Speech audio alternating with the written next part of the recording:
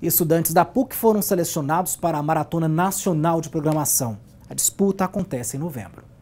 A equipe On Ballon et a Time Please, que quer dizer um balão por vez, por favor, formada pelos alunos Guilherme, Jorge e João Lênis, foi a classificada da PUC entre as 72 equipes na 22ª edição regional da Maratona da Sociedade Brasileira de Computação de Programação, realizada no mês passado, aqui em Goiânia. Para a gente ser finalista nacional é uma grande oportunidade, uma grande oportunidade de adquirir mais conhecimento e experiência, né? uma vez que nós estaremos em contato com outros competidores que já estão há mais tempo do que a gente na maratona e inclusive competidores que já foram para a final mundial. Que nós temos agora muitos alunos que estão entrando e a gente conseguindo agora ir para a final é um incentivo para todo mundo, para todo mundo ver, ó, é possível, dá para conseguir. Então acho que essa ida nossa para a final brasileira vai estimular toda a equipe, todo mundo aqui desse, desse laboratório, inclusive trazer mais gente para cá. A turma que recebe orientação do coaching Alexandre Ribeiro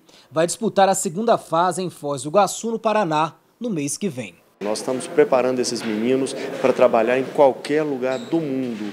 É, é, essa competição ela já é uma amostra disso.